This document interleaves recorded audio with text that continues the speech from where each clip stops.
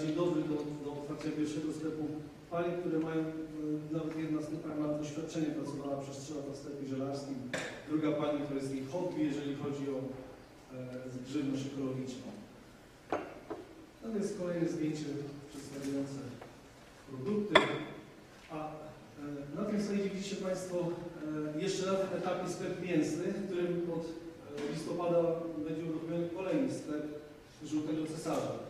E, Jest to w Bydgoszczy przy ulicy Twardziskiego 33. W zeszłym tygodniu podpisaliśmy umowę z właścicielem lokalu na najem. 1 listopada przekaże nam klucze i najprawdopodobniej w drugiej połowie listopada uruchomimy kolejny sklep z żywnością ekologiczną pod nazwą Żółty Cesarz. Będzie to dziesiąty sklep Żółtego Cesarza w Polsce. E, Tak to będzie się przedstawiało w Bydgoszczy, e, czyli z lewej strony widzimy znaczek Żółtego Cesarza przy ulicy Gdańskiej, z prawej strony to jest właśnie Fordon. W samej Bydgoszczy planujemy otworzyć jeszcze kolejne trzy sklepy, jeden e, na, Miedz- e, na, na Miedzyniu, e, jeden na Osowej Górze i jeden w Śródmieściu. Docelowo chcemy mieć pięć sklepów Żółtego Cesarza w Bydgoszczy. Natomiast poza Bydgoszcz planujemy też w przyszłym roku się wyjść poza Bydgoszcz i otworzyć w kolejnych miastach. To są miasta, które są wstępnie uzgodnione z Panią Olenską, w których będziemy mogli budować e, sieć e, sklepów, czyli Gdańsk, Szczecin, Poznań, Łódź, Katowice i miasta do 100 km w pobliżu, takie jeżeli chodzi o, okolice Bydgoszczy, Świecie, Tuchola, Chornice. E, W takich miastach chcemy otwierać kolejne sklepy Żółtego Cesarza. Założyliśmy sobie, że w przyszłym roku otworzymy minimum 10 nowych sklepów. I to jest symulacja przygotowana w oparciu o skromne doświadczenie na podstawie tego, jak się rozwija sprzedaż w naszym pierwszym sklepie. Jeżeli zrealizujemy te plany, to na koniec 2015 roku, mając 12 sklepów, jesteśmy w stanie uzyskać przychód na poziomie 6 milionów 20 tysięcy eksport. Pracujemy jednocześnie nad uruchomieniem sklepu internetowego z żywnością ekologiczną. E, To jest po, po wstępnej akceptacji e, projekt graficzny strony tego sklepu, tak będzie wyglądał. Natomiast e, projekt jest na, na tyle wczesnej fazie, że nic więcej na temat e, naszego sklepu Państwu pokazać nie mogę. Nad tym w tej chwili pracujemy. Dla sklepu internetowego założyliśmy sobie, myślę, ambitny plan, ale jak najbardziej realny do zdobycia, czyli osiągnięcie sprzedaży w roku 2015 na poziomie 1 miliona złotych. E, Jak najbardziej nierealny, ponieważ zatrudniliśmy do, do tego celu e, na dzień dzisiejszy już dwie osoby, które siedzą, pracują na uruchomieniu sklepu. E, Z tego jest już jeden pan, który ma dosyć bogate doświadczenie, pracował w sklepie internetowym znanej firmy oponiarskiej, największej w Polsce, nie będę mówił nazwy. E, I liczymy na to, że wykorzysta on swoją wiedzę, swoje doświadczenie i my też z tego skorzystamy i zbudujemy w przyszłości sklep z równie dużym sukcesem i będziemy mogli się rozwijać. E, Tyle jeżeli chodzi na temat pierwszego projektu, którym zajmuje się e, firma Attila. E, Drugi projekt, nad którym pracujemy, to jest portal zakupowy, który nazywa się aukcja.pl. E, Portal, którego celem jest optymalizacja zakupów poprzez zorganizowanie aukcji, której uczestnikami są dostawcy negocjujący między sobą ceny online.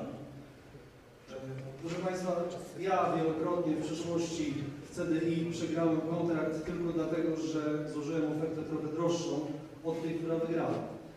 E, Żałowałem później, dlatego że zawsze składając ofertę zostawiłem sobie jakąś część, jakieś pole e, manewru do negocjacji, licząc na to, że będę miał możliwość spotkać się, porozmawiać, przekonać, a jak się nie uda przekonać, zejdę wtedy do tej ceny, za którą chętnie bym dostarczył usługę, którą chciałem sprzedać.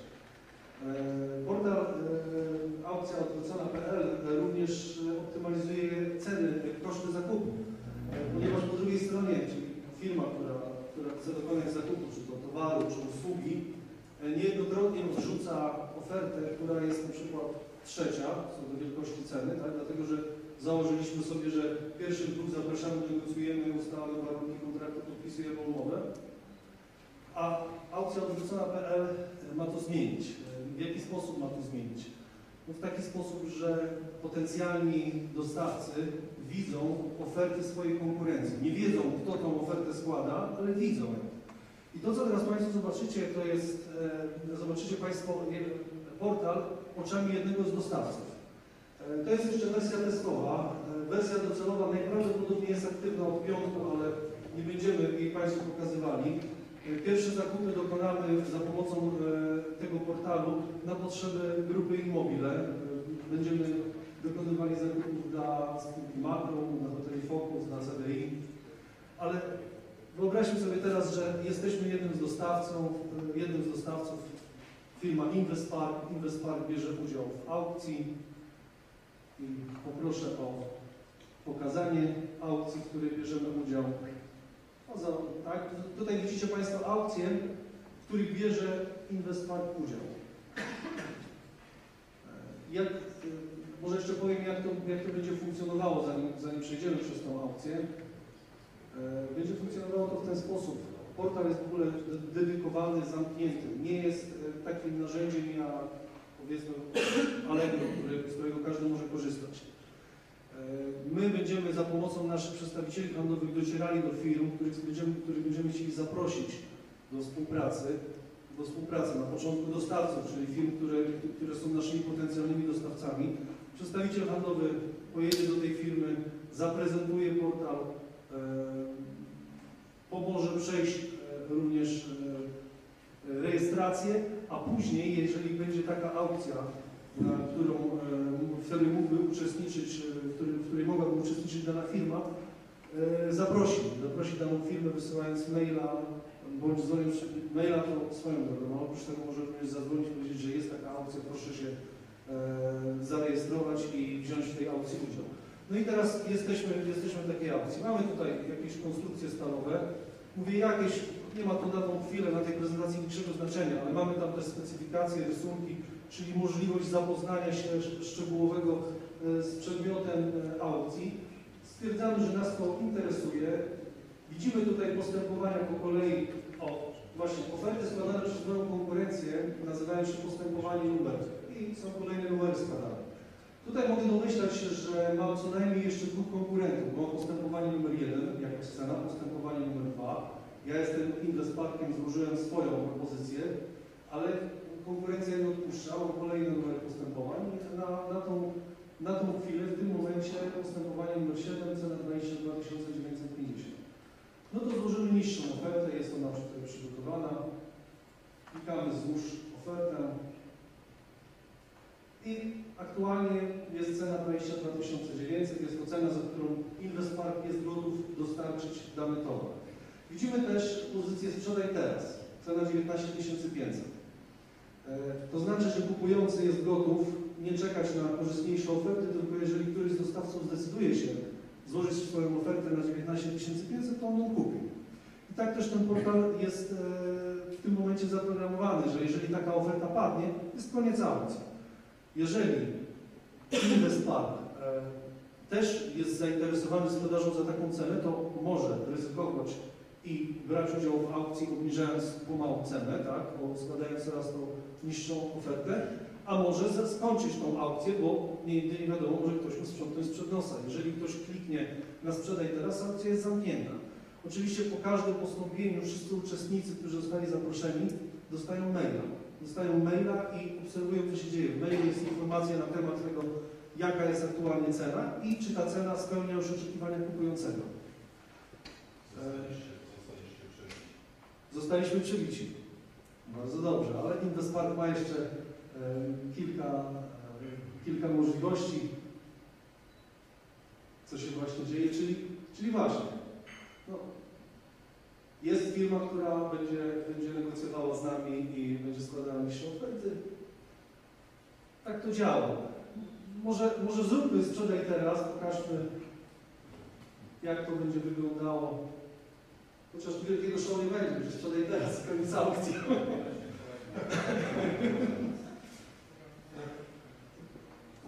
Kolega Paweł przed mną taki show zrobił, że też chciałem coś, coś, coś na fali coś zrobić, ale, ale tak, to, tak to wygląda. Jeżeli będzie sprzedaj teraz, oczywiście to jest aukcja zamknięta. Wszyscy dostaną informację o tym, że aukcja została zakończona. Ceną sprzedaj teraz. E, nie zawsze aukcja musi mieć taką opcję sprzedaj teraz. Możemy pokazać aukcję, gdzie nie ma tej opcji. Chodzi o to, że e, poza tym my jako e, aukcja odwrócona.pl załóżmy, że już współpracujemy w przyszłości tak, z firmą zewnętrzną, z którą podpisaliśmy umowę i staliśmy się wirtualnym działem zaopatrzenia dla tej firmy. Umówiliśmy się, że transakcja dojdzie do skutku, jeżeli będzie jakaś tam cena, a na przykład na tej, jeżeli chodzi o tą aukcję, e, że to będzie cena 10 tysięcy. Jeżeli aukcja zakończy się powyżej tej ceny, to nie dojdzie do skutku transakcja. Jeżeli zakończy się poniżej, to dojdzie do skutku. Jak zakończy się dużo poniżej, to my, jako właściciele tej platformy, jesteśmy w stanie zarobić jeszcze niezłą prowizję przy tym. Czy ktoś z Państwa jakieś pytanie ma do tej platformy, bo właściwie to byłoby na tyle. To też jest, tak jak teraz Państwo widzicie, w takiej fazie testowej i w październiku rozpoczynamy już prawdziwe aukcje. Może nie pytanie, ale uwagę, ta aukcja odwrócona trochę, trochę jakoś nie bardzo mi się podoba ta nazwa. Szczególnie, że polskie litery są, jest dosyć długa nazwa.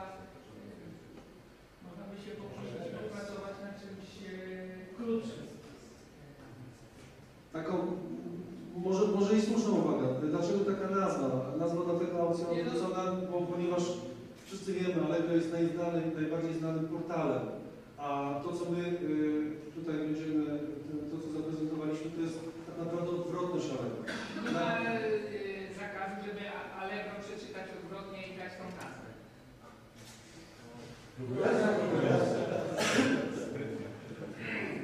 Ale no, to, to, dobrze, dobrze. Nie wiem jeszcze co wyjdzie, muszę szybko zapisać i czytać.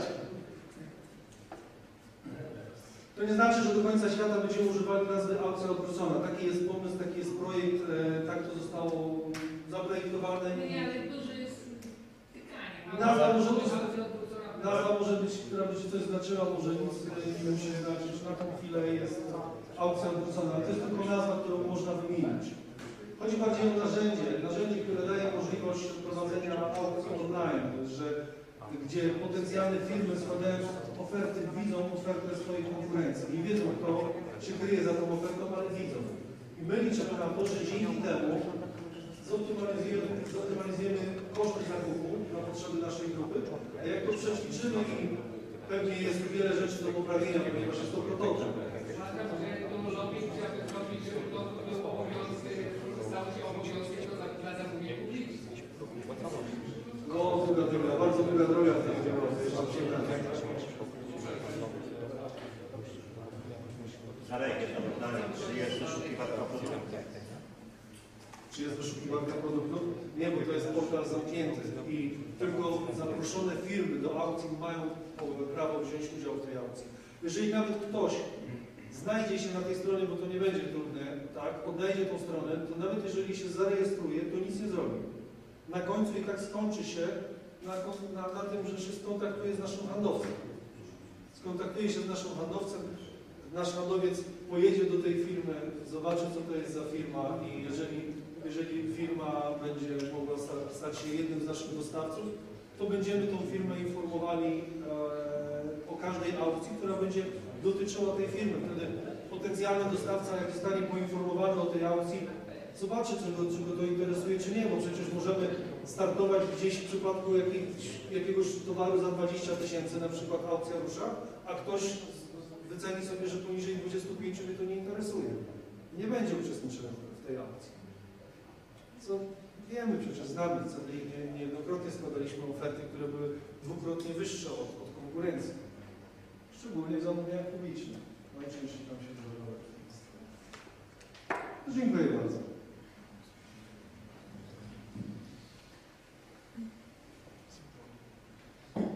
Dobra, dziękuję za cierpliwość. Nasze walne nadzwyczajne w części oficjalnej części nieoficjalnej e, dobiegło e, do końca. Jeszcze chciałbym powiedzieć dwa słowa e, podsumowujące. Szczególnie to, co wcześniej mówiłem o planowanej sprzedaży. Oraz po tych prezentacjach pokażemy tą sprzedaż, którą wydaje mi się będziemy próbowali zrealizować razem z tymi planowanymi projektami, które startujemy, wdrażamy. Czyli mamy 2014-2015 190 według naszych zasobów kontraktów, które wdrażamy, powinno być 30 milionów więcej sprzedaży. To jest to, co planujemy, co chcemy akcjonariuszom i rynkowi dowieść w ciągu tych dwóch następnych lat. I podopłata część e,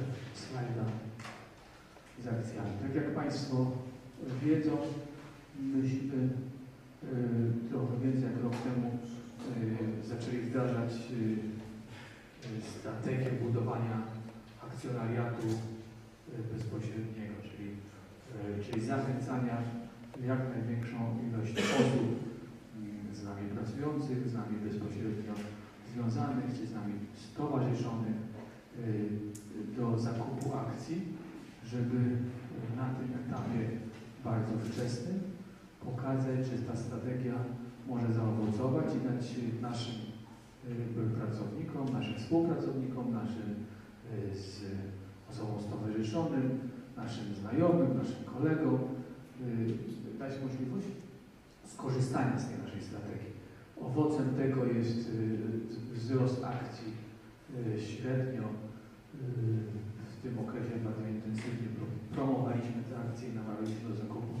One były do, do złoty 40, złoty 50 i jest o 2,40. Widać, że ta strategia funkcjonuje się sprawdza. Jednym z gwarantów tej strategii jest stabilny akcjonariat, który jest szalenie istotny, który jest rzadki na polskiej giełdzie, bo bardzo rzadko w jakiejkolwiek spółce jest y, y, tak duża ilość akcji skupiona w tak nie- niewielu rękach, co jest bardzo korzystne dla dalszego budowania ceny i bezpieczeństwa naszych wspólnych akcji. I jesteśmy y, przekonani, że te y, działania nasze w konsekwencji dalej powinny owocować y, stabilnym wzrostem, jeżeli te sprzedaże, które pokazujemy w najbliższym czasie, nie w przyszłości, nie wiadomo jakiej, tylko w przyszłości dwuletniej, zrealizujemy. A liczymy, że ze względu na strukturę, którą zbudowaliśmy i na budowanie silnych zarządów, co jest szalenie trudne i wymaga codziennego e, kontaktu, codziennej pracy e, w ramach tych zarządów i tak szerokiej działalności. Jesteśmy y, grupa kapitałowa Immobile bardzo aktywnym y, funduszem inwestycyjnym, tak możemy powiedzieć, w którym y, macie akcje i my jako główni akcjonariusze y, razem, którzy tu jesteśmy, możemy powiedzieć, że tutaj siedzą główni akcjonariusze, mamy za zadanie w sposób jak najbardziej właściwy monitorować te nowe projekty, monitorować pracę obecną i jak najintensywniej starać się zwiększać sprzedaż i rentowność tych przedsięwzięć. Także jeszcze raz dziękuję za spotkanie i zapraszam za e, pół roku na następne walne. Sądzę, że będzie jeszcze w gronie z korzyścią dla nas wszystkich. Dziękuję bardzo.